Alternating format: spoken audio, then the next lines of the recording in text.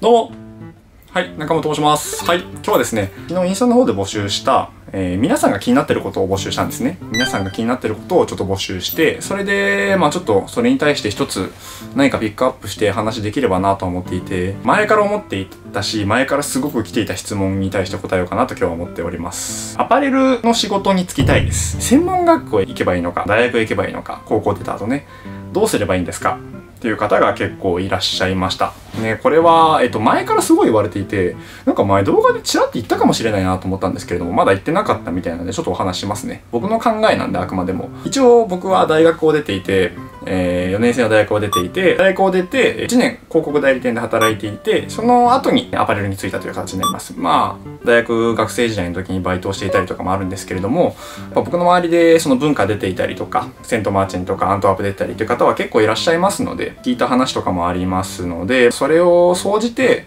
どういう職種、アパレルでもどういう職種に就く、こういう職種に就きたいんやったら大学だよ、こういう職種に就きたいんやったら専門だよというのを簡単にお話しできればなと思います。では、よろしくお願いします。まず、アパレルやりたいですって方がいますよね。多分この動画見てる方でも結構多いと思うんですよ。えっと、僕は古着屋さんを辞めましたが、えー今変わったセレクトショップを、うん、服が好きな人が集まれるようなセレクトショップを作ろうとしていて、まあ、バイイングとかも、はい、しています。今何をしてるかってなったらバイイングをしてます。はい、YouTube もやってるし、あーって感じなんですけど、まあ、アパレルで何やってんのって言ったらバイヤーって形になりますね。まあ、あと経営とバイヤーって感じですかね。問題としては、えーアパレルの職種に就きたい。専門行けばいいのか、服飾学校行けばいいのか、大学に行けばいいのか、どっちなんだ？っていうことに関しては結論から申し上げますと、アパレルと広く言っても、その中で何になりたいかで変わってきます。これ大きく変わってきます。で、えっと、まあ、簡単に話していくと、例えば、デザイナー、パタンナーになりたい、ブランドを作りたいって方は、間違いなく服飾に行った方がいいと思います。うん。一個ずつ後で説明していきますね。で、いや、違うんだ。プレスとか販売員とか、接客をしたいとか、まあ、プレスでいろんな人と関わっていきたいとか、VMD とかもそうですけど、っていう方だったら、まあ、専門に行く必要はないかなとは思います。うん。バイヤーもそうですね。バイヤーも専門に行く必要性は、確実に絶対に行った方がいいってことはないかなと思います。大学を出ても、まあ、全然十分通用するかなと思います。この2パターンで結構分かれるかなと思います。デザイナーになりたい、ブランドを作りたいって方は、えっ、と、まあ、間違いなく専門に行った方がいいと思います。服飾学校に。ただ、セレクトショップを作りたいとか、バイヤーになりたいとか、プレスになりたい、販売員ですごいカリスマみたいになりたいっていう方だったら、まあ、専門に行く必要は必ずしもないのかなとは思います。まあ、絶対に行かなければならないってことはないのかなとは思います。なぜかっていうのを今からちょっと簡単に話してみますね。専門に行く意味っていうのは、専門って言っても、例えばじゃあ文化服装学院、一番日本で有名な学校を例に挙げますと、まあ本当に僕の知り合いもすごく多く言ってるんですけれども、その卒業生から聞いた言葉とかでも、やっぱり文化を出て販売になるっていうのは、そこまで大きな意味があるかって言われると結構難しいって言いますね。本人たちが、いや、行く必要なかったなって言うんですよ。っていうのは、販売員にその専門の服のスキル、なんかもう縫製だったりとか、服を作るスキルとかが、まあいらないからなんですよ、簡単に言うと。大学を出た新卒の方とかでも入れちゃうし、全然できちゃうし、もっとシビアなこと言いますと、就職率。専門と大学の就職率で大手のアパレル企業とかが、えっ、とまあ販売員として、まあ普通に新卒として採用するデザイナーパターンナーじゃなくて販売員とかプレスとかそういう募集をする際にどっちから取る率が多いかって言ったら大卒の方が全然多いんですよ。まあこれはいろんな理由あると思いますし僕がちょっと一概にバッとは言えないです。なんでかっていうのは。まあでもまあ風習でもあると思うんですよね。それは日本の。大卒と専門卒のそれは違いだと思います正直。うん。まあ大学っていうのはそれだけ意味があることなんですよ。なんかその大学に行ったって全然勉強しないで遊びほうけて就職しますみたいなの多いからっていう話はよく聞くと思うし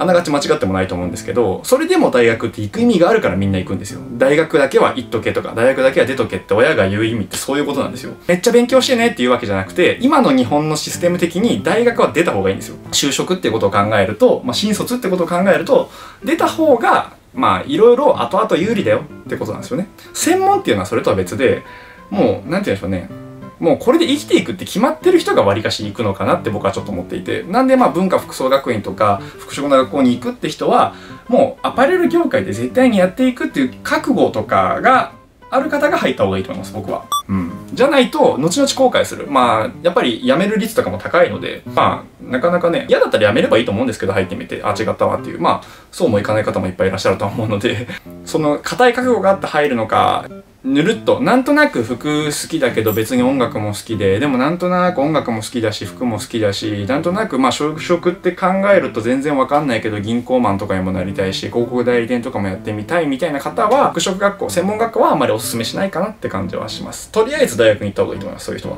うん。別に大学を出た後に専門学校って方もいっぱいいるんですよ山本洋二さんとかもそうですよね。慶応出てから文化って感じなんで。まあだから服のことを勉強したいって人が行くべきだと思ってます。なんとなく販売員とか。販売員とか、まあ別に服作りたくはないけど服に携わってアパレル業界でやっていきたいなって方は大学でいいんじゃないかなって思いますね。そういう就職率とか、日本の現状を考えるとそうなんじゃないかなって思います。難しいところなんですけど、やっぱちょっといいわみたいな。服の仕事いいわってなったとしても、なんかちょっと IT とかやりてえわってなっても、専門だと、あの、取り返しというか、なかなか小回りが効かないというか、じゃあその企業側の立場として、IT 企業とかが、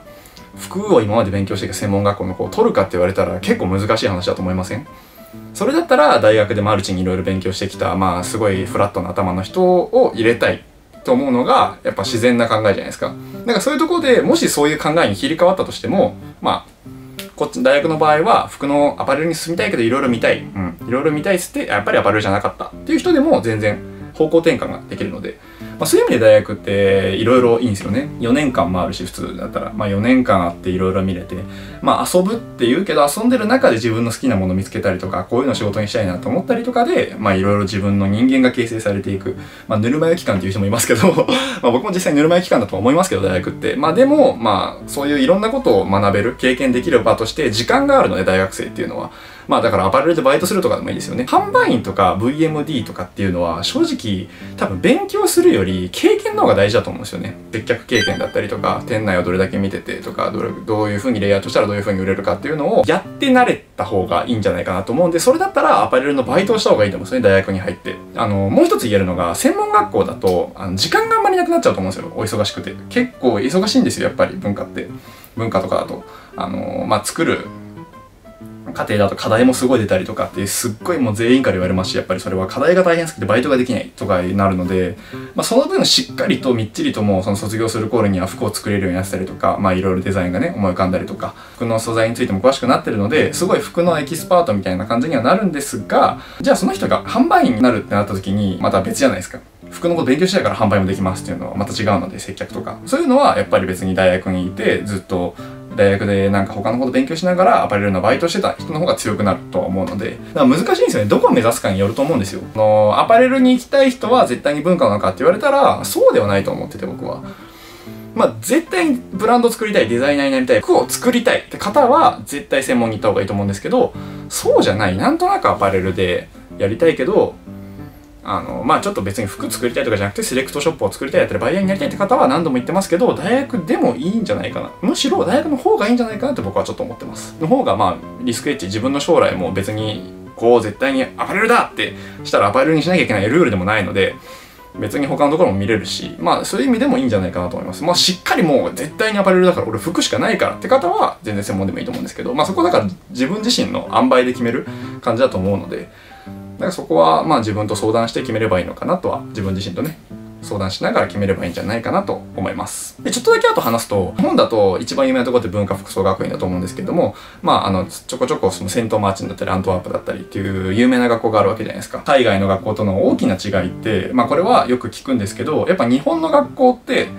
あの、すごく縫製にこだわるんですよ。まあ、日本人らしいというか、細かいんですよね、すごく。だから、すごく縫製も、あの、縫製に厳しくて、ここの縫い方どうやったかわかんないから、みたいなのとか、もう一回やってこいとか、すごく厳しい。そういうところに対して厳しいんですよ。ただ、アントワープとかセントマーチンって、まあ、これも館に寄ったりするんですけれども、芸術寄りなんですよね。アントワープ法律芸術学院っていうくらいだから。まあ、出るのが難しい、入るのも難しいし、卒業するのも難しいって言われてる学校なんですけれども、法制に関してはそこまで言われないらしいんですよ。まあもちろん最低限のことは言われますけど、なんかハリボテでもいいからコレクションルックで歩かせるのがデザイン性がすごいいいか悪いかっていうのを見られるんですよね。デザインより芸術よりなことをすごく求められる。海外の方は、まあそこがめっちゃ強くなるっていうよりはデザインとか、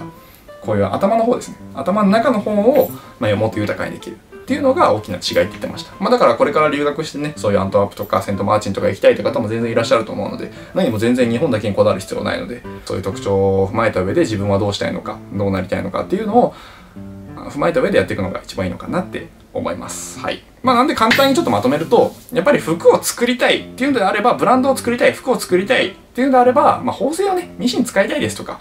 そういうのしたいですって方は、絶対に、そういうのでご飯食べていきたいですって方は、僕は専門学校に行った方が絶対にいいと思います。じゃないと逆に難しいと思います。まあ、じゃじゃなくてもできる道はいくらでもありますけど、一番近道はそれだと思います。そうじゃない。アパレルの販売員でもいいし、プレスでもいいし、ちょっとそこまで完全に決まってはないけど、えー、アパレルがいい。って方だったら、大学でいいんじゃないかなとは思います。うん。なんかその自分自身の気持ちとか塩梅とかっていうのを考えて選べばいいんじゃないかなとは思います。そんなところかな。一人の意見として聞いていただければなと思います。僕が思う専門学校か大学に進むかどっちかっていうのはこういう感じだよっていう話です。はい。それはね、えっ、ー、と、いつもファッション系の動画上げております。まあ、いろいろファッション系の動画上げておりますので、ぜひ、はい、チャンネル登録してお待ちいただけますと幸いです。はい。それでは、また次の動画でお会いいたしましょう。はい。失礼いたします。